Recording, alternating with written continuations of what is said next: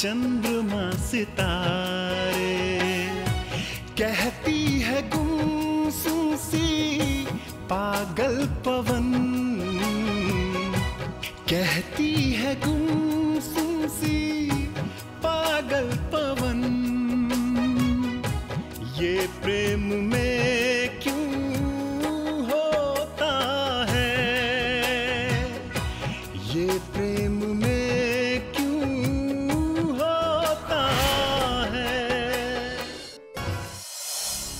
आचार्य शुक्र ने पुत्री के प्रश्न का उत्तर नहीं दिया, किंतु उसके प्रश्न को ही आत्मसात करके उसे विशेष सम्मान दे दिया। समाज के प्रति शुक्र के उत्तरदायित्व को आज एक नई दिशा मिली। इसकी दिग्दर्शिका स्वयं देवयानी है। बालिका देवयानी, अब उसके इस प्रश्न का स्वयं उससे ही क्या संबंध है, ये तो भविष्य के गर्भ में छिपा है। आपको पता है, आज देव को कितनी पीड़ा हुई है। आज वो भूखे ही सो गई।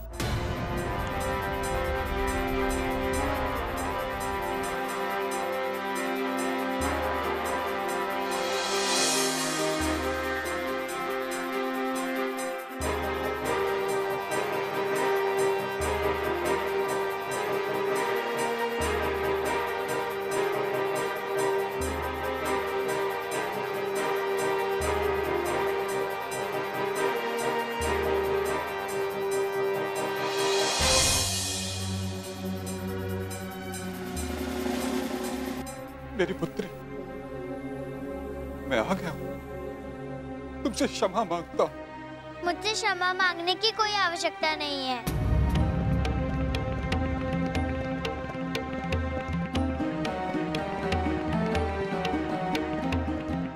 अब ऐसा कभी नहीं होगा देव मुझे उसकी कोई चिंता नहीं है। मिष्ठान रखा है जाकर खा लो। और मुझे मनाने का प्रयास मत करना। किंतु उनके तो गुरुदेव भी होंगे ना। आप उनकी ओर से मत बोलिए। महाराज के यहाँ गए थे, छप्पन वो खा के आए होंगे। तभी इनको मेरे द्वारा बनाए गए मिष्ठान की याद ही नहीं आई। इनसे कह दो कि ये यहाँ से चले जाए, मुझे सोने दे। इनको क्या? इनके लिए तो सारा संसार ही इनका संतान है। मेरे लिए मेरे पिता ही एकमात्र हैं। पुत्री देव, इसमें मेरा कोई अपराध नहीं है। अपराध सूर्य देव का है, जो आज इतनी शीघ्रता से अस्त हो गए अपराध तुम्हारी तुम्हारी शर्मिष्ठा का है, जो तुम्हारा संदेशा देने में इतनी देर कर दी।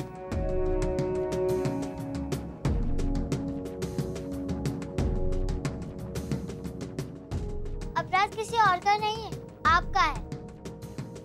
अवश्य ही आपने छप्पन भोग ग्रहण किया होगा। नहीं पुत्री मैंने हर भोग का तिरस्कार कर दिया। तुम्हारे इस मिष्ठान के लिए। मैं कुछ नहीं जानती।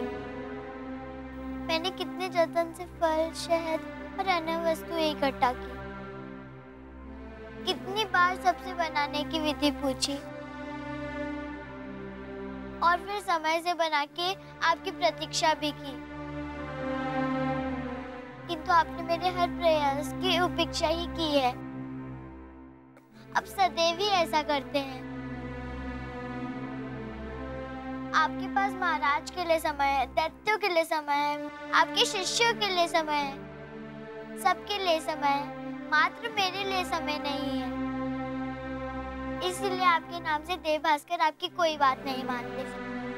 इसीलिए देवता लोग भी आपसे बैर रखते हैं। अच्छा। देवता भी मुझसे इसलिए बैर रखते हैं कि मेरे पास आपके लिए समय नहीं है। हाँ मात्र इसलिए। और मेरे नाना श्री को पता चलेगा कि आप मुझे समय नहीं देते। तो पता है वो आपको कितनी उलाना देंगे? ना अरे वो आपसे बात करना भी छोड़ देंगे।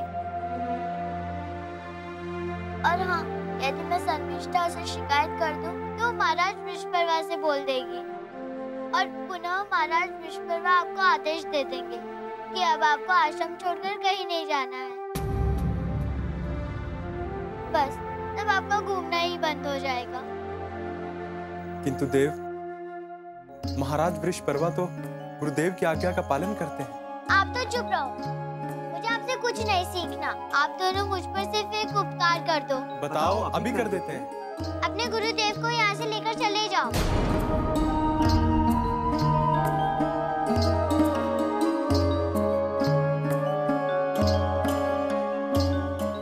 चलो शिष्य मैं यहाँ से चला जाता हूँ।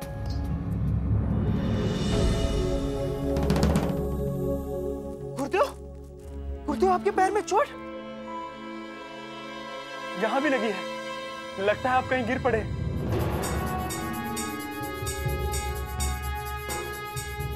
बताइए ना पिताश्री कैसे लग गई आपको ये चोट?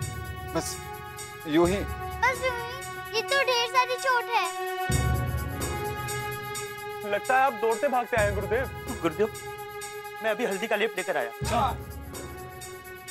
दौड़ते भागते आने की क्या आवश्यकता थी? क्या आश्रम पे भागा जा रहा था? पुत्री तुम्हारा वो मिष्ठान और, और भोजन ग्रहण करने का समय। पिताश्री माना कि मैं थोड़ी हट्टी हूँ किंतु आप तो पिता हैं।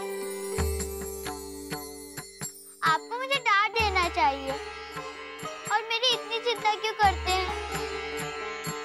आपके मस्तिष्क में तनिक भी ज्ञान नहीं है कि मैं बड़ी हो गई हूँ। नहीं पुत्री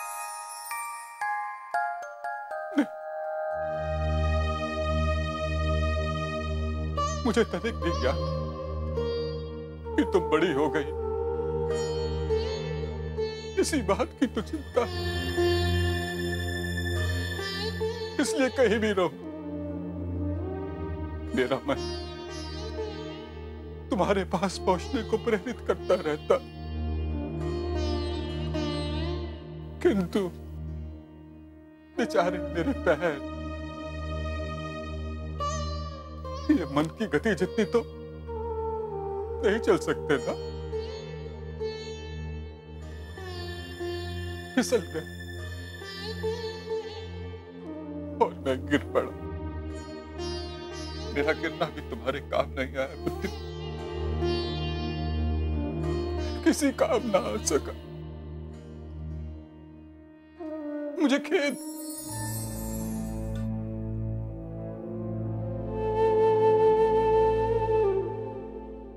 सोचता आज जयंती होती तो कितना अच्छा होता।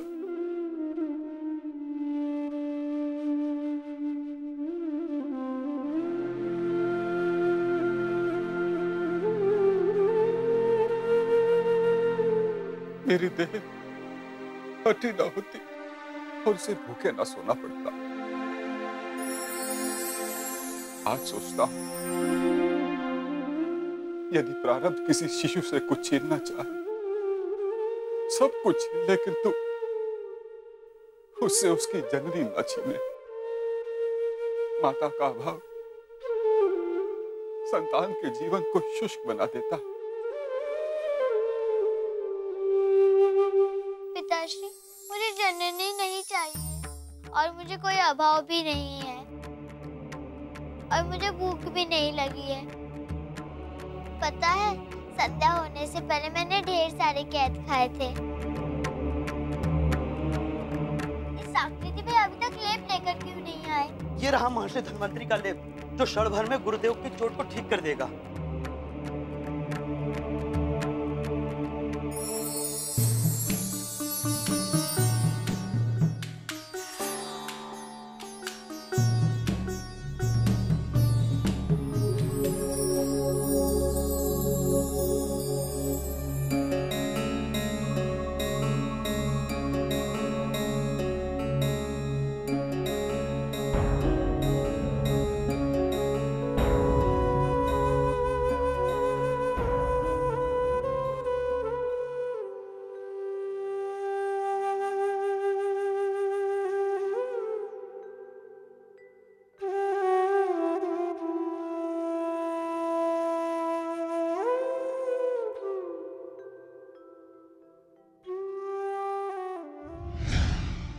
स्वामी ये देव है आपकी देव हमारी देव ये मेरा प्रतिरूप है। इसमें मैं हूँ। अगर मैं आपके साथ नहीं भी रहूँगी तो ये हमेशा आपका ध्यान रखेगी।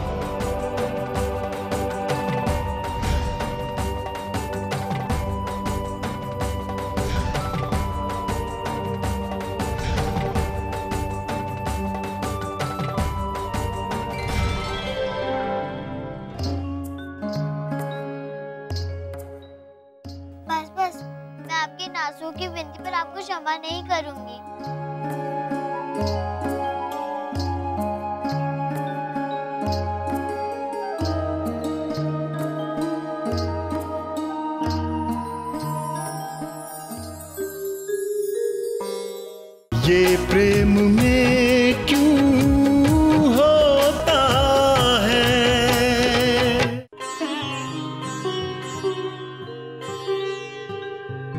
माताश्री की आवश्यकता मुझे नहीं पिताश्री आपको है। मैं कितनी हट्टी हूँ, जो हर पल मात्र स्वयं के विषय में ही सोचती रहती हूँ। आपका ध्यान ही नहीं करती। किंतु क्या करूँ, शीघ्रता से बड़ी ही नहीं हो पा रही हूँ। माताश्री होती तो वो हमारे लिए व्यंजन बनाती, मेरे बालों के जूड़े बनाती, आपकी सेवा करती, आपका ध्यान रखती। और हाँ मुझे डांटती भी। आप तो मुझे कभी कुछ भी नहीं कहते। जैसे आप मेरे पुत्र और मैं आपके पिता हो गई हूँ। शर्मिष्ठा कहती है कि आप बहुत अच्छे हैं। किंतु मैं सोचती हूँ कि आप बहुत अभाग्य हैं। मेरी माता को हमें छोड़कर नहीं जाना चाहिए था। मैं थोड़ी बड़ी होती तो उन्हें रोक लेती। आपकी संजीवनी की तरह मैं हार नहीं जाती। ये अच्छा नहीं है कि आपके दैत्य गुरु बनने का देवगण आपको दुख दें।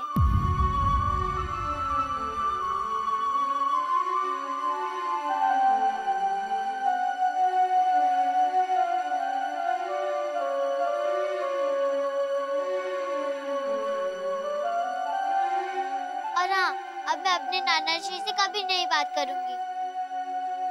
आज जो मेरे शत्रु हैं जिनके कारण मैं मात्र विहीन हुई। देव बस करो। सारा क्रोध अभी उतार दोगी। तो कल अपने शिष्यों को कैसे डांटोगी? और हाँ घृणिका और काया ने सरस्वती वंदना को कंठस्थ ही नहीं किया।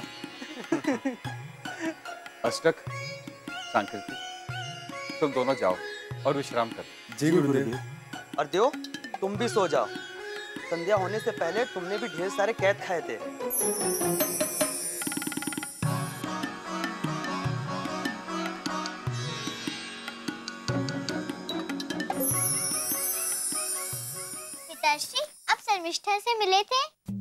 उससे नहीं मिलता तो अनर्थ हो जाता। अनर्थ? अर्थात? महाराज से बातें करते करते कब संध्या हो गई पता ही नहीं चला। और उनके आग्रह पर मैं भोजन ग्रहण करने भी बैठ गया। क्या? आपने भोजन? अरे सुनो तो सही मैं उनके साथ भोजन ग्रहण करने ही वाला था कि थोड़ी देर में शर्मिष्ठा वहाँ आ गई। और तब फिर? मैंने भोजन ग्रहण करने के लिए प्रथम कौर को हाथ से छुआ ही था कि शर्मिष्ठा ने तुम्हारे मिष्ठान की बात कह दी। मेरे मिष्ठान की बात? हाँ। कदाचित तुमने अपने पत्र में लिखा हो। हाँ मैंने लिखा था। तब फिर क्या हुआ? फिर क्या? मैं भोजन छोड़कर तुरंत खड़ा हो गया और वहाँ से निकल पड़ा। आपने महाराज के आतिथ्य का तिरस्कार किया? तिरस्कार किया नहीं। तिरस्कार हो गया पुत्री। महाराज तो मुझे रथ से छोड़ने की बात कह रहे थे। अरे नहीं पुत्री। रथ से आने का निर्णय लेता तो रथ पर बैठते बैठते ही सूर्यास्त हो जाता। मैं सीधे मार्ग से सरपट भागा। ये भागा ये भागा ये भागा और अपनी देव के पास पहुँच गया। महाराज महारानी और शर्मिष्ठा ने कुछ कहा नहीं? उन्होंने क्या कहा?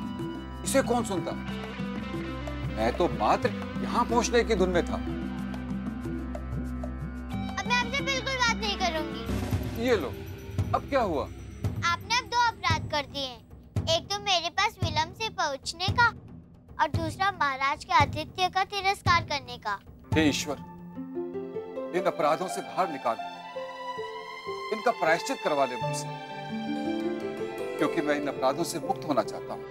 अब चिंता ना करें आपको अपराध मुक्त मैं कर दूँगी।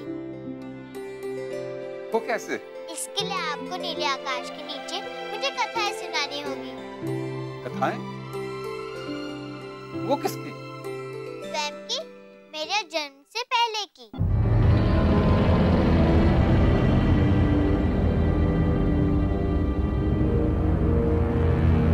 ये प्रेम में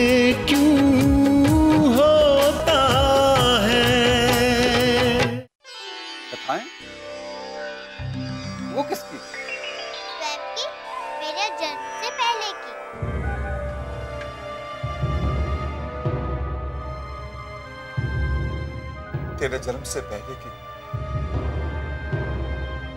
कौन सी कथा सुना मेरा स्वयं का जीवन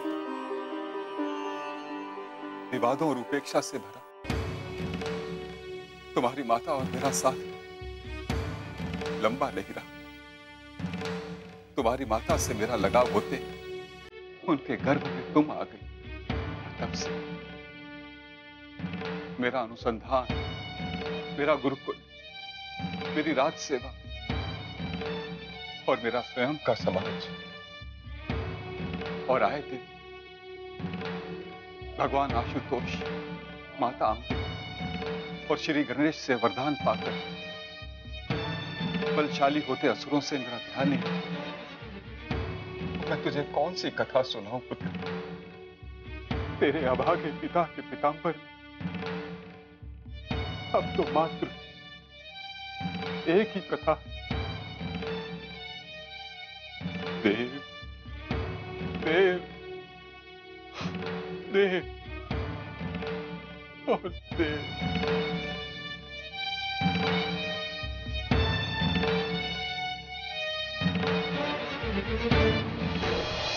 ये ब्रह्मांड अति विशाल है। इसमें अनगिनत आकाश गंगाएँ अपने समूहों के साथ प्रतिपल गतिशील रहती हैं।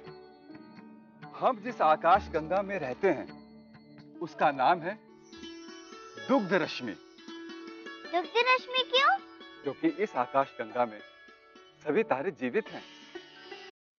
उनके प्रकाश से ये सदैव चमकती रहती है। क्या? तारे भी मरते हैं? हाँ पुत्री। इस ब्रह्मांड में चल हो या चल सजीव हो या निर्जीव सबका एक दिन अंत होता है। ग्रह नक्षत्र और आकाश गंगाएँ निर्मित होती रहती हैं।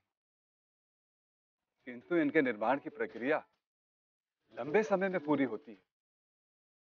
इसलिए हमें इनके निर्माण अथवा अंत का पता नहीं चलता। हमारी ये दुग्ध रश्मि आकाश गंगा एक मनवंतर पुरानी है। एक मनवंतर अर्थात इकहत्तर चतुर्युग यही ना? हाँ पुत्री, इकहत्तर चतुष्युग, उनके गर्भ में तुम आ गई। तब से मेरा अनुसंधान, मेरा गुरुकुल, मेरी राज सेवा और मेरा स्वयं का समाज। और आए दिन भगवान आशुतोष, माता अम्बे और श्री गणेश से वरदान पाकर बलशाली होते असुरों से मेरा ध्यान नहीं मैं तुझे कौन सी कथा सुनाऊं, पुत्र? तेरे अभागे पिता के पिताम्बर। अब तो मात्र एक ही कथा। देव देव देव और देव।